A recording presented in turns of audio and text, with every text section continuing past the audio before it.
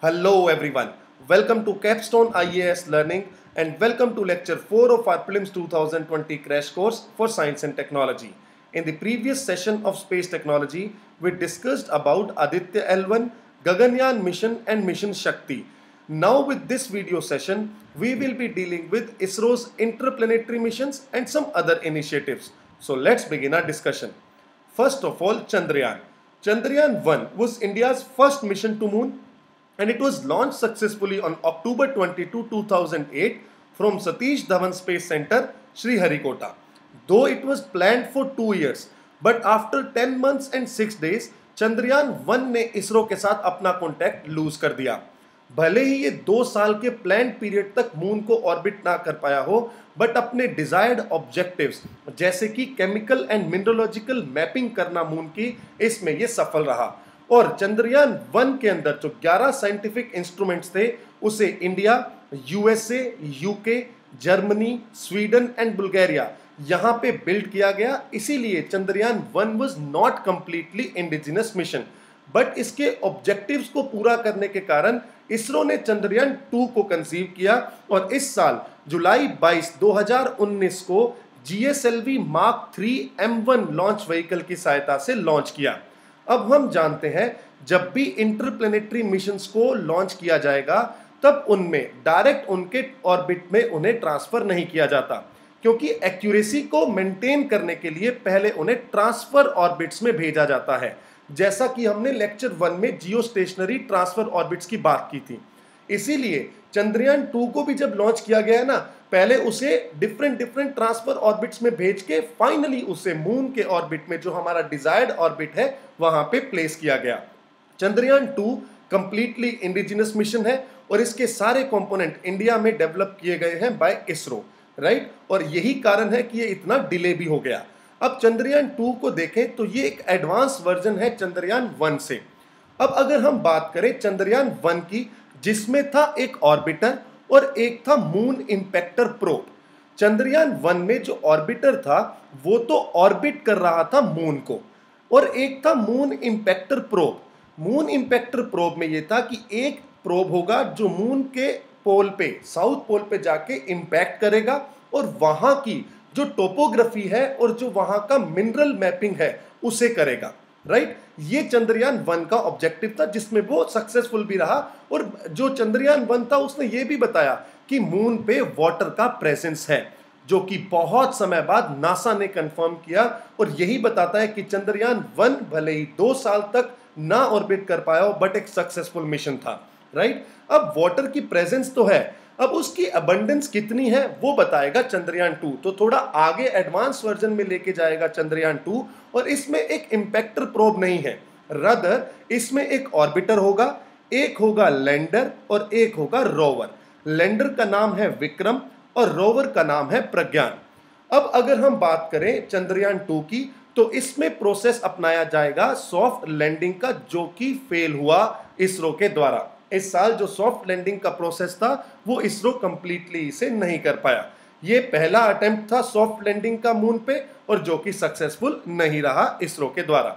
अगर हम की डिफरेंस देखें, चंद्रयान वन और चंद्रयान टू की तो वो ये है, Chandrayaan one was not completely indigenous इसमें रशिया की सहायता भी ली गई थी और कुछ कंपोनेंट्स को, जो साइंटिफिक इंस्ट्रूमेंट्स थे, उन्हें बाहर के देशों में भी बनाया गया था।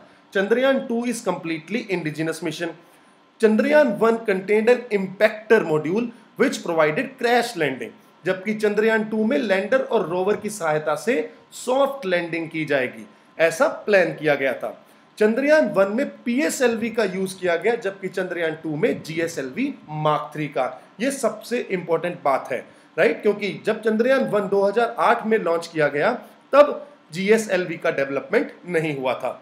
अब अगर हम बात करते हैं चंद्रयान टू आखिर मून तक पहुँचा कैसे? तो उसे इस पिक्चर की सहायता से समझा जा सकता है। जैसे सबसे पहले उसे यहाँ से लॉन्च किया जाएगा Satish Dhawan space centre Sriharikota से। उसके बाद अर्थ के चारों ओर ये चक्कर लगाएगा एक इलिप्टिकल ऑर्बिट में। धीरे धीरे इस इलिप्टिकल ऑर्बिट से इसे बूस्ट करते करते डिफरेंट डिफरेंट ऑर्बिट्स की सहायता से फाइनली मून के साथ, मून के ऑर्बिट में प्लेस किया जाएगा। फिर ये मून के चारों ओर एक इलिप्टिकल ऑर्बिट में चक्कर लगाएगा और एंड में जो हमारा डिजायर्ड ऑर्बिट है, उसमें प्लेस कर दिया जाएगा।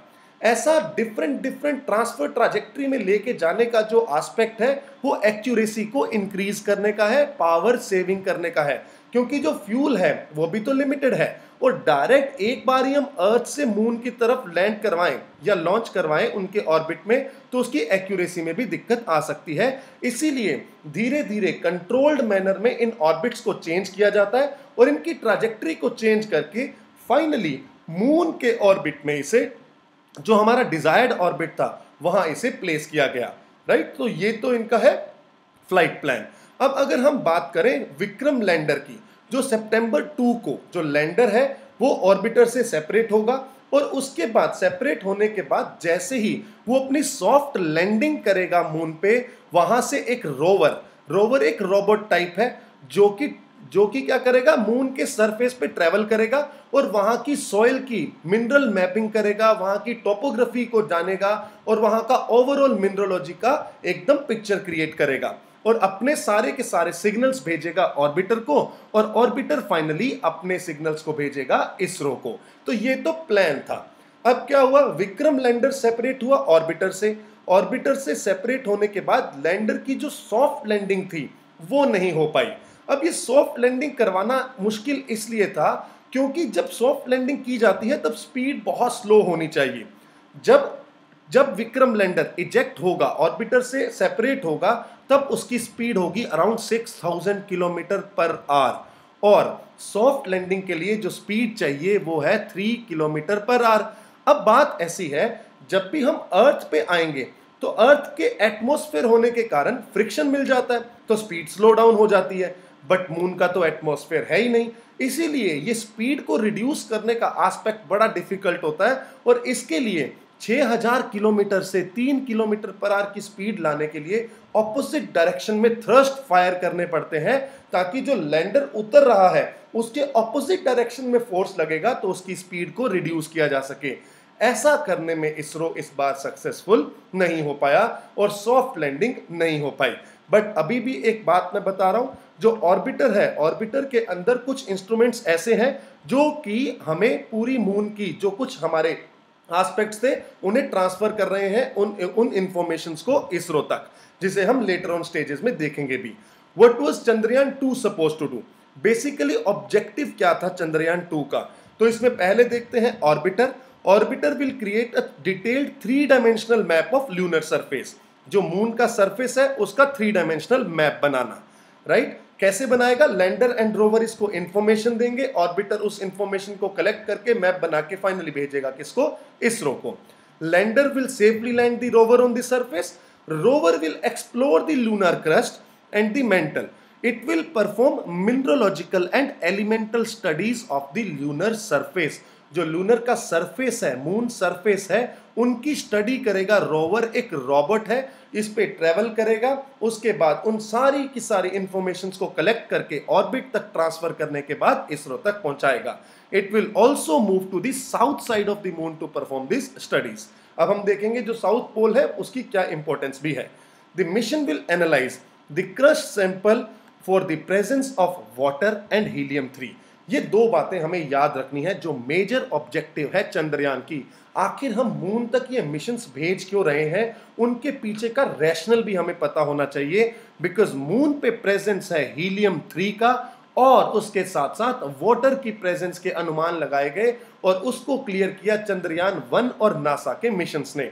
अब चंद्रयान टू ने बताना है कि जो भी वाटर अवेलेबल है, जो एविडेंसेस मून पे मिले हैं उन वाटर की अबंडेंस क्या है? उनका डिस्ट्रीब्यूशन उसके सरफेस पे कैसे है? वो पता होना चाहिए। So the craters on the moon are suppose to hold million और billions of tons of water और ये मिशन ये भी बताएगा, ये भी फोकस करेगा कि ये जो पानी मून पे आया है, ये वहीं पे ओरिजिनेट हुआ है या कहीं बाहर से उस सरफेस पे आया। बिकॉज़ जनरली क्या होता है? मून पे जितने भी मिशन आज तक गए, वो इक्विटोरियल रीजन में गए मून के। 28 से ज़्यादा मिशन है जो मून के इक्विटोरियल रीजन पे जाके आ चुके हैं। बट मून के इक्विटोरियल रीजन में सन की अबंडेंस के कारण जो भी पानी होगा, वो तो इवेपोरेट हो गया होगा। बट पोल रीजन ऐसे हैं जहाँ पे सन की लाइट नहीं पहुँच पाती है, क्योंकि मून जो है, वो अपनी एक्सिस पे टिल्ट नहीं है। अर्थ तो अपनी एक्सिस पे टिल्टेड है, इसीलिए पोल तक लाइट्स पहुँच जाती हैं। यहाँ पे पोल पे लाइट नहीं पहुँच पाती है, इस कारण से यहाँ पे जो वाटर होगा, वो हमें किस फॉर्म में मिलेगा? आइस की फॉर्म में मिलेगा। ऐसा चंद्रयान वन ने भी बताया। और उसी की अबंडेंस कितनी है? उनका डिस्ट्रीब्यूशन कैसा है? उसे बताएगा चंद्रयान टू एक एस्पेक्ट तो ये है। Second is helium helium is an isotope which is limited on earth right but it is very abundant on moon and can theoretically meet global energy demands for 250 years if harnessed properly. Basically helium है एक fuel और अगर helium को हमने harness कर लिया, हमारी energy demand को हम 250 साल तक के लिए पूरा कर सकते हैं. और अर्थ पे इसका जो अबंडेंस है वो बिल्कुल भी नहीं है, ये आइसोटॉप बहुत ही लिमिटेड अमाउंट में है. और जो मून है मून पे हीलियम का प्रेजेंस है. और मून पे हीलियम का प्रेजेंस इसलिए है क्योंकि सन के कुछ सोलर विंड्स जो होती हैं, वो मून के साथ इंटरेक्ट करती हैं. अभी हम प्री आगे वाली स्लाइड्स में जियो टेल का कंसेप्ट समझेंगे। तब हम देखेंगे कि जो सोलार विंड्स हैं, वो मून के साथ इंटरेक्ट करती हैं और सोलार विंड्स यानी कि सन से निकलने वाले आयनाइज्ड आइटम्स यानी कि प्लाज्मा वो जब मून के साथ इंटरेक्ट करेगा तो definitely there will be some amount of helium which will be present on the surface of moon. So, solar winds have bombarded the moon with immense quantities of helium-3 because it's not protected by a magnetic field like Earth. Right. बात ऐसी है कि अर्थ के पास तो अपना एक magnetic field है, जिसे हम अभी डिस्कस करने वाले हैं अभी ये मान के चलें अर्थ का एक मैग्नेटिक फ़ील्ड है, उसके कारण सोलर विंड अर्थ तक नहीं पहुँच पाती अगर वो पहुँच जाती तो यहाँ पे हीलियम का अबंडेंस हो जाता राइट बट मून के पास ऐसा मैग्नेटिक फ़ील्ड नहीं है, जिसके कारण यहाँ पे हीलियम का अबंडेंस हमें देखने को मिलता है। और ऐसा अबंडेंस है, जिससे ग्लोबल एनर्जी की डिमांड को 250 साल तक पूरा किया जा सकता है। ये सबसे इंपॉर्टेंट एस्पेक्ट है मून को एक्सप्लोर करने का। The presence of helium 3 was confirmed in moon samples, returned by Apollo missions of USA. अब हम जाते हैं going to south pole of moon अब अभी हम बात करें 28 से ज़्यादा लैंडिंग्स हो चुकी हैं मून पे, जो कि उसके इक्वेटोरियल रीजन में है। But south pole of the moon वहाँ पे अटेम्प्ट सबसे ज़्यादा मुश्किल भी है। और इस पोलर रीजन में हमें एक आवश्यकता ये भी है जाने की, क्योंकि वाटर का वाटर का अबंडेंस हमें देखने को वहाँ मिल सकता है। बट डिफिकल्टी ये है, यहाँ पे क्रेटर्स का अबंडेंस है। क्रेटर्स बहुत ज़्यादा है, क्योंकि मून का एटमोसफियर नहीं है। तो बहुत सारे क्रेटर्स यहाँ पे हमें देखने को मिलेंगे। इसीलिए इनका जो सरफेस है वो बहुत ही इरेगुलर है और यहाँ पे सॉफ्ट लैंडिंग करवाना भी बहुत मुश्किल है राइट और दूसरी बात, यहाँ का जो टेम्परेचर है वो भी माइनस दो डिग्री सेल्सियस तक जाता है क्योंकि सन की लाइट यहाँ पे नहीं पहुँच पाती। चंद्रयान वन में ऐसी थर्मल शील्डिंग ही थी जो खराब हुई थी, जिनके कारण इसरो का उनके साथ कॉन्टेक्ट लूज हुआ था राइट अब हम बात करें other significances of Chandrayaan two की तो ये सबसे पहली बात इंडिया को इंटरनेशनल एरिना में अपने प्लेस को सॉलिडिफाई करने में बहुत बड़ी मदद करेगा। And the rover landing is one step in an envision series of ISRO that includes putting a space station in orbit and potentially an Indian crew on the moon अगर हमने ऐसी सॉफ्ट लैंडिंग कर दी तो Indian crew को moon पे ले जाने में, खुद का एक स्पेस स्टेशन इस्टेब्लिश करने में बेसिकली जो इसरो के फर्दर प्लान्स हैं, उनको थोड़ा सा, उनकी क्रेडिबिलिटी को एनहेंस करेगा, अगर हम चंद्रयान टू को सक्सेसफुली लॉन्च कर पाते तो। राइट अब हम बात करेंगे जियो टेल की। ये भी चंद्रयान टू से ही रिलेटेड है। जब चंद्रयान टू का ऑर्बिटर जो है ऑर्बिटर जो है, वो ऑर्बिट कर रहा है मून को उन्होंने क्रॉस किया एक फिनोमिना है जियो टेल का इसे, and its instrument can study properties of geotail at a few hundred thousand kilometers from earth. अब ये आखिर geotail है क्या? इसे हम डिटेल में समझते हैं। बहुत इंपॉर्टेंट एस्पेक्ट है इस साल के प्रीलिम्स के लिए। जब हम सन की बात करते हैं तो प्रीवियस लेक्चर में हमने देखा कि सन से आयनाइज्ड एटम्स की कुछ फ्लेयर्स निकलती हैं।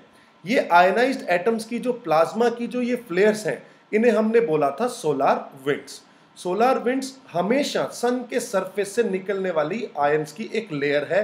ये फ्लेयर्स ये विंड्स चलती रहती हैं। अब ये आयंस ट्रेवल कर रहे हैं स्पेस में और ये ट्रेवल करते करते पहुँचने की कोशिश करेंगे अर्थ तक राइट और ये जितने भी प्लैनेट्स हैं, सबको घेर के रखते हैं, सबकी तरफ़ चलते हैं। बट अर्थ के पास एक बहुत खूबसूरत चीज़ है, जिसे बोला जाता है जियो मैग्नेटिज्म जियो मैग्नेटिज्म का कारण यह है अर्थ के अगर हम बात करें कोर की, जो क्रस्ट मेंटल कोर है, उसमें आयरन का अबंडेंस है। और अर्थ का जो कोर है, अर्थ तो रोटेट कर रही है तो इन आयरन के रोटेशन के कारण अर्थ के पास है ना, खुद का एक मैग्नेटिक फ़ील्ड आ जाता है। जैसे हम एक मैग्नेट रखते हैं, एक चुंबक रखते हैं ना, उसके नॉर्थ पोल और साउथ पोल होते हैं, वैसे ही जियो मैग्नेट है। अर्थ एक जियो मैग्नेट है, जिसके मैग्नेटिक नॉर्थ और साउथ पोल है जो कि अर्थ के नॉर्थ और साउथ पोल से, जो जियोग्राफिकल नॉर्थ और साउथ पोल है ना अर्थ के, उनसे डिफरेंट होते हैं। इनको बोला जाता है geomagnetism geomagnetic north and south pole of earth अब ये नॉर्थ पोल और साउथ पोल जो होते हैं, इनके यहाँ से कुछ मैग्नेटिक फ़ील्ड लाइंस ओरिजिनेट होती हैं। जब भी हम मैग्नेट की प्रॉपर्टीज़ देखेंगे, तब हमें पता लगता है कि नॉर्थ से साउथ तक हमेशा मैग्नेटिक फ़ील्ड लाइंस चलती रहती हैं। और यही मैग्नेटिक फ़ील्ड लाइंस अर्थ पे भी मौजूद हैं। अब अगर अर्थ का एक जियो मैग्नेटिज्म है तो उसकी भी एक मैग्नेटिक फ़ील्ड लाइंस है। ये मैग्नेटिक फ़ील्ड लाइंस जो है, इसको बोला जाता है मैग्नेटोस्फेयर ऑफ़ अर्थ। मैग्नेटोस्फेयर। और ये मैग्नेटोस्फेयर जो ना, ये एक तरफ़ से तो एक्सटेंडेड है स्ट्रेच्ड है, और एक तरफ़ से कंप्रेस्ड है।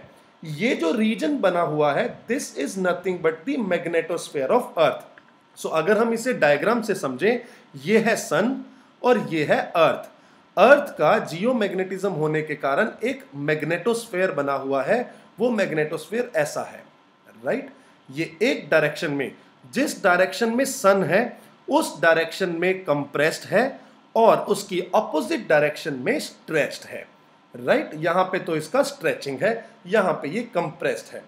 अब जो ये रीजन है, ये कंप्लीट आस्पेक्ट कहलाता है मैग्नेटोस्फेयर राइट? इसको हमने याद रखना है अब जो स्ट्रेच्ड पोर्शन है, ये एक टेल है, इसी को बोला जाता है जियो टेल यानी कि ये जो स्ट्रेच्ड पोर्शन जहाँ पे मैग्नेटोस्फेयर का बाउंड्री है ना, ये पूरा पोर्शन जो है, इसे कहेंगे हम जियो टेल क्या बोलते हैं? जियोटेल अब इसका सिग्निफिकेंस क्या है, वो हम समझते हैं। और अर्थ का मैग्नेटिक फ़ील्ड लाइंस कैसे हमें सेव करता है, इन सोलर विंड से, उसे हम देखते हैं। जैसे ये सोलर विंड्स के जो आयनाइज्ड आयंस हैं, जो प्लाज्मा है, ये इनसे निकलने वाला सन के सरफेस से, ये अर्थ की तरफ़ चलता है, वैसे ही ये मैग्नेटिक फ़ील्ड लाइन के साथ इंटरेक्ट करके बाहर के बाहर ही ट्रांसफ़र कर दिया जाता है। इसे अर्थ के एटमॉस्फेयर में एंट्री नहीं मिलती। अगर कभी एंट्री मिलती भी है तो ये मैक्सिमम टू मैक्सिमम अर्थ के पोल पे जाके पहुँचते हैं। अर्थ के पोल पे। और इसीलिए पोल पे इन सोलर विंड्स का जब इंटरेक्शन होता है मैग्नेटिक फ़ील्ड लाइंस के साथ तो एक ब्राइट लाइट अपीयर होती है, जिसे हम औरोरा कहते हैं। राइट ये आपने ज़रूर पढ़ा होगा। Polar region Norway Sweden Finland के पास आकाश में अलग अलग तरह की कुछ लाइट्स दिखाई देती हैं हमें। वो इन मैग्नेटिक फ़ील्ड लाइन के साथ इन सोलार विंड का इंटरेक्शन ही होता है। बट ये सोलार विंड्स जो हैं, ये अर्थ के एटमॉस्फेयर को स्ट्रिप ऑफ़ नहीं कर सकती। ये भी एक मेजर रीजन है कि अर्थ के ऊपर एटमॉस्फेयर का प्रेजेंस है। बाकी जो प्लैनेट्स हैं, उनके यहाँ पे इतना थिक एटमॉस्फेयर हमें देखने को नहीं मिलता। क्योंकि उनके अंदर magnetic properties magnetic field line magnetosphere नहीं है और सोलर विंड्स जो आती हैं, उनके एटमॉस्फेयर को स्ट्रिप ऑफ़ करके ले जाती हैं। राइट ये बात हमें समझ में आनी चाहिए। अब अगर हम बात करें इस मैग्नेटोस्फेयर में जियोटेल की, अब अगर हम देखते हैं जियोटेल को तो हमें पता लगता है ये है अर्थ और ये है हमारा मून मून जब अर्थ को ऑर्बिट करेगा, तब डेफिनेटली वो कुछ समय ऐसा होगा जब जियो टेल के रीजन से होके गुजरेगा। राइट लेट से ये है सन ये है अर्थ और अर्थ को ऑर्बिट करने वाला है मून ये है अर्थ और इसको ऑर्बिट करने वाला है मून ऐसे। बट अर्थ का तो एक मैग्नेटोस्फेयर है, ये मैग्नेटोस्फेयर है। इसीलिए कुछ रीजन ऐसा होगा जब मून जो है ना, इस जियोटेल के पोर्शन से गुजरेगा। अब जब जियो टेल के पोर्शन से गुजरेगा ना, तब एक बात हमें ध्यान में रखनी है कि जो भी ये सोलार विंड्स आ रही हैं, वो क्या जियो टेल के रीजन में जा पाएँगी? नहीं जा पाएँगी, क्योंकि ये तो ऐसा रीजन है जो कि मैग्नेटोस्फेयर की शील्ड के अंदर है। मैग्नेटिक इंपैक्ट पड़ेगा सोलार विंड्स का जब इस जियो टेल से वो बाहर होंगी। Are you getting my point मेरा कहने का मतलब ये है कि जब तक इस जियो टेल के रीजन में मून ऑर्बिट करेगा अर्थ को, तब तक सोलार विंड का इंपैक्ट इस पर नहीं पड़ने वाला। क्यों? क्योंकि इन विंड्स का इंपैक्ट जब पड़ेगा, तब ये इससे बाहर होंगी। यहाँ पे अर्थ का जो मैग्नेटिक फ़ील्ड है ना, वो इसे एक शील्ड प्रोवाइड करता है। और वो शील्ड कहती है कि जब तक आप इस रीजन में हैं, तब तक मैं आपको कुछ नहीं होने दूँगी। Right right? जैसे ही आप इस मैग्नेटिक शील्ड के बाहर गए ये सोलर विंड्स आपके साथ इंटरेक्ट करेंगी और जैसे ही सोलर विंड्स मून के साथ इंटरेक्ट करेंगी, वैसे ही हीलियम थ्री का अबंडेंस भी हमें वहाँ पे देखने को मिल सकता है। यही एक मेजर कारण है कि हीलियम का प्रेजेंस है कहाँ पे? मून पे। आई होप अब ये क्रिस्टल क्लियर हो गया होगा कि जियो टेल का कंसेप्ट है क्या।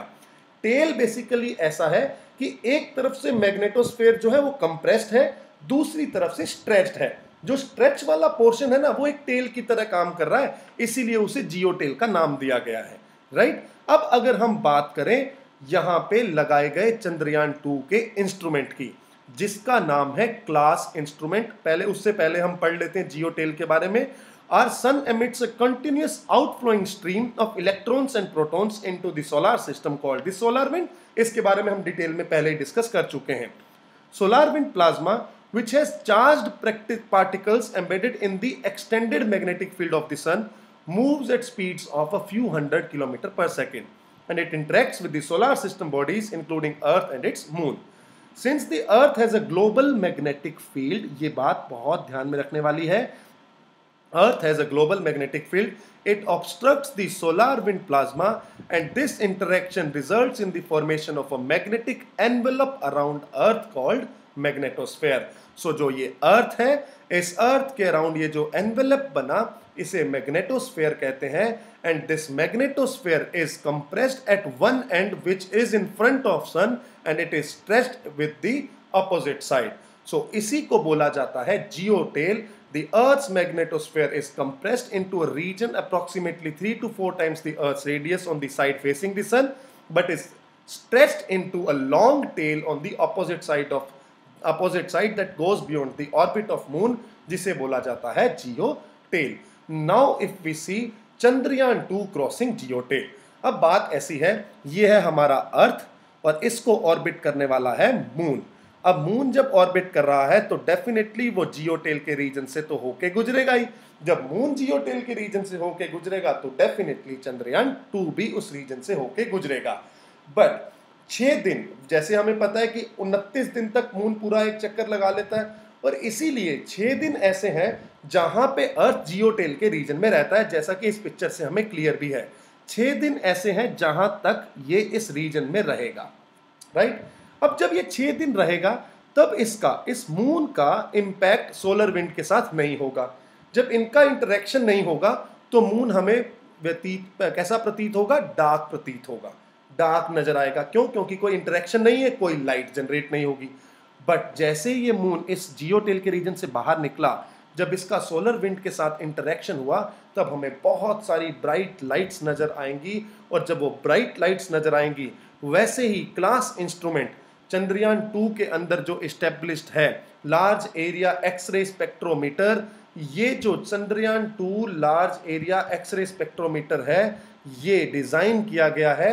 जैसे ही वो लाइट चमकेगी ना, वैसे ही ये जो लूनर के सरफेस है, उस पर प्रेजेंट एलिमेंट्स को क्या कर लेगा? कैप्चर कर लेगा। क्योंकि इन लाइट्स के प्रेजेंस होने के कारण बेस्ट ऑब्जर्वेशन मिलता है right so this is best observe when solar flare on the sun provide rich source of X rays to illuminate lunar surface lunar surface illuminate होगा और जो एक्सरे एमिशन होंगी वो क्या करेंगी? डायरेक्टली डिटेक्टेड कर ली जाएँगी बाय दिस इंस्ट्रूमेंट जिससे calcium sodium aluminium silicon titanium iron इन सब की प्रेजेंस का पता लगाया जा सकता है।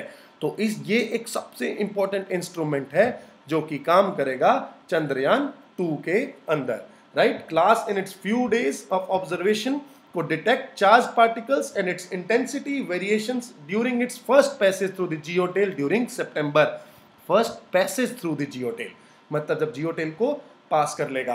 तो क्लास टू के साथ दो इमेजेस आएँगी। एक इमेजेस आएगी जो डार्क होगी, एक इमेज आएगी जो ब्राइटर होगी। उनके कंपैरिजन से भी हमें बहुत सारा आइडिया लग सकता है कि कैसे कौन कौन से एलिमेंट्स का प्रेजेंस मून के सरफेस पे है। So this was all about Chandrayaan mission I hope अब एकदम क्लियर हो गया होगा चंद्रयान का ऑब्जेक्टिव क्या है। वहाँ की मिनरल मैपिंग करना थ्री ग्राफ थ्री उनकी मैपिंग करना टोपोग्राफी को देखना, उनके अंदर कौन से एलिमेंट्स वहाँ पे प्रेजेंट है, उनको देखना, हीलियम, वाटर का अबंडेंस डिस्ट्रीब्यूशन कैसे है, उनको जानना ही चंद्रयान का मेजर ऑब्जेक्टिव था राइट अब हम बात करते हैं कुछ और इनिशिएटिव्स इसरो के, जो कि प्रिलिम्स से प्रिलिम्स रिलेटेड है और बहुत इंपॉर्टेंट है। जैसे कि यंग साइंटिस्ट प्रोग्राम जिसे बोला गया युविका, युवा वैज्ञानिक प्रोग्राम यानी कि कार्यक्रम। सो इसे युविका के नाम से भी जाना गया है। इसरो ने लॉन्च किया है और इसरो ही इसका कंप्लीट खर्चा भी उठाएगी।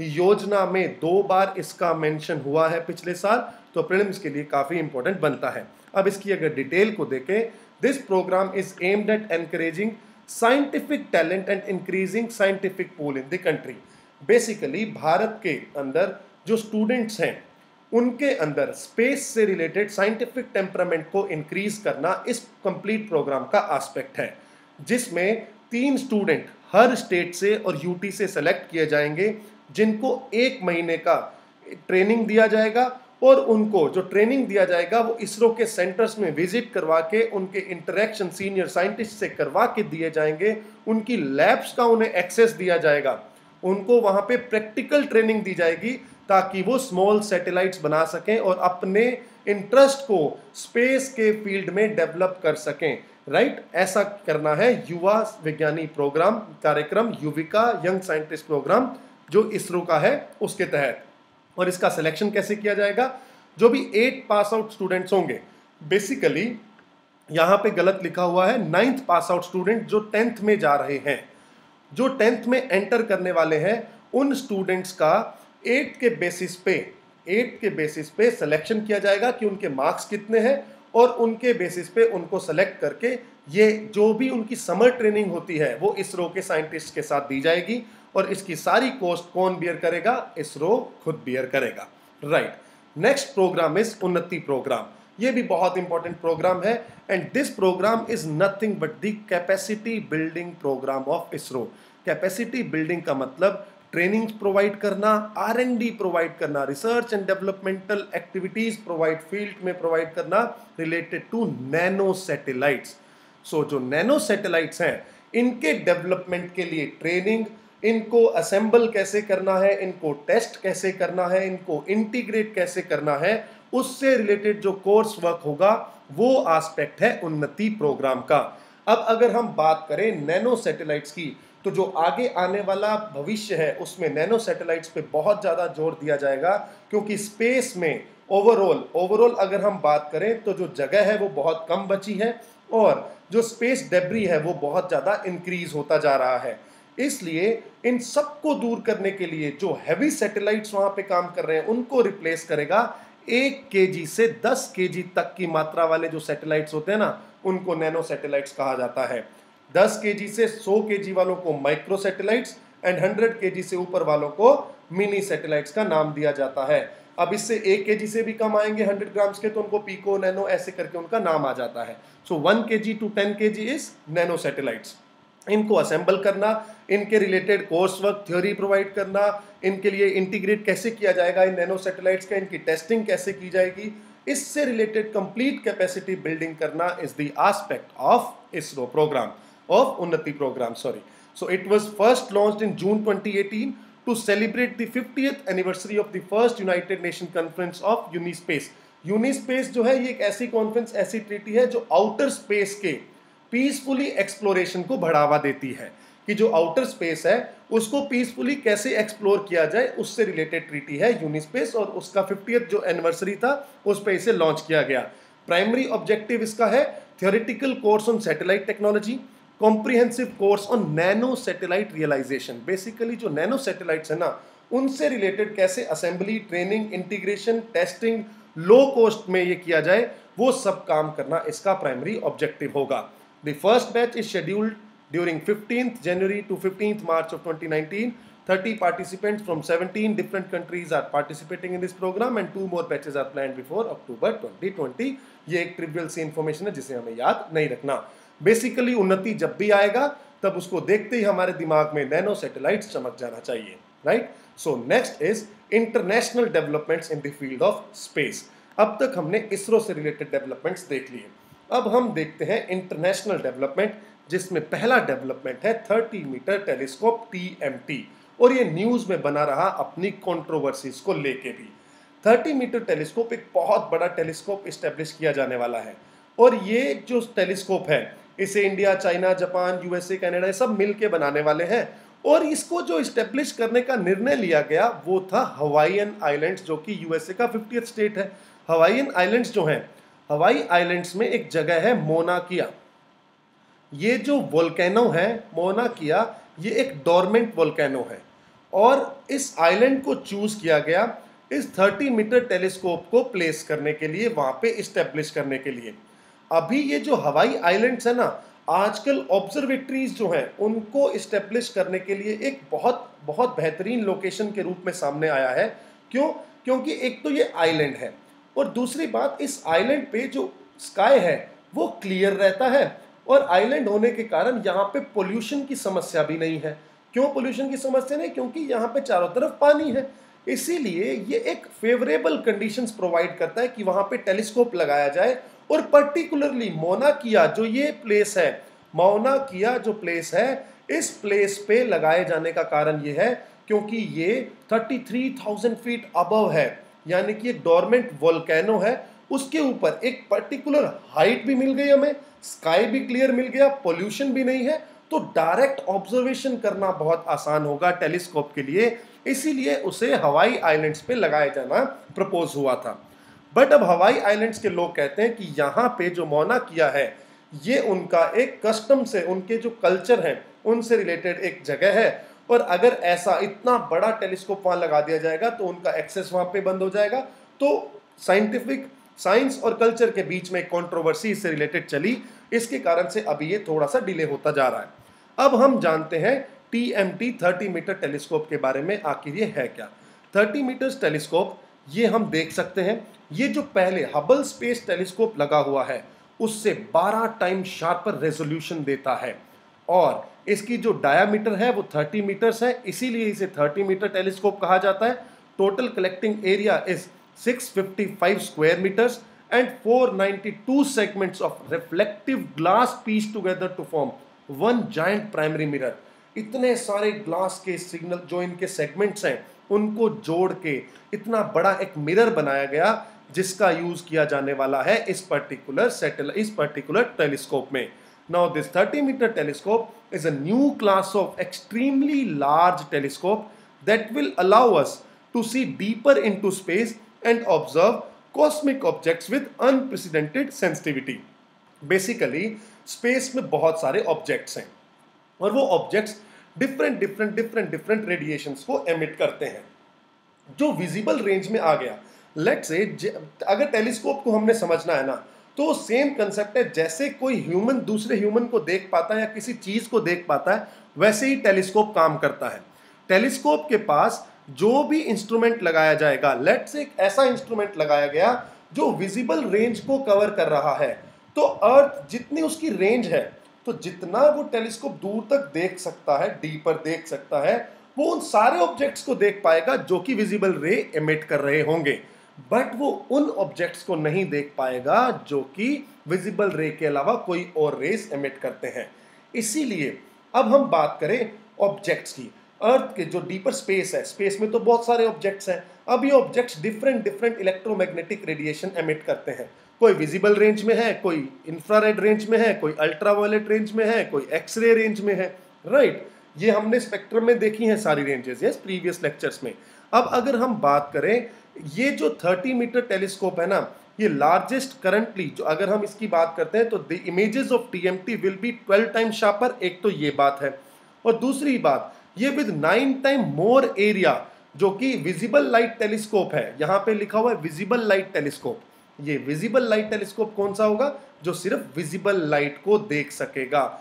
जबकि T M T ultra violet से लेके मिड इंफ्रारेड तक की रेंजेस को कवर कर रहा है। इसका मतलब ये होगा कि ये बहुत सारे ऑब्जेक्ट्स देखने में हमारी मदद कर सकता है। जो प्रेजेंट हबल स्पेस है, वो विजिबल लाइट टेलीस्कोप हैं। विजिबल लाइट का मतलब ये है कि वो सिर्फ़ ऐसे ऑब्जेक्ट्स को ही देख पाएँगे जो कि विजिबल रेज को विजिबल जो लाइट है, जो कि विजिबल इलेक्ट्रोमैग्नेटिक रेडिएशंस हैं, उन्हें एमिट करते हैं।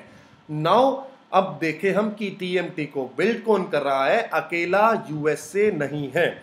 इसमें यूनिवर्सिटी ऑफ़ कैलिफ़ोर्निया मतलब USA national science of Japan मतलब जापान भी है चाइना भी है इंडिया भी है और कनाडा भी है।